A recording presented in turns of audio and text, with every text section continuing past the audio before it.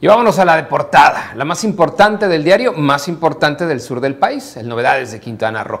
El número de viviendas con dos a tres cuartos ha incrementado su número en los últimos 10 años, dos a tres cuartos. El problema es que estas habitaciones son cada vez más pequeñitas, unos huevitos.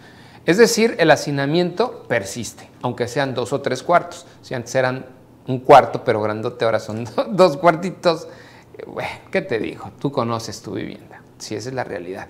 Al menos eso es lo que revelan los estudios del INEGI y de Data México que indican que si bien el 33% de las casas ya tienen más de dos cuartos, el tamaño de estos pasó de 4 por 6, de 4 por 6 metros, que ya es pequeño, a 2.7 por 4 metros. O sea, una cosita así.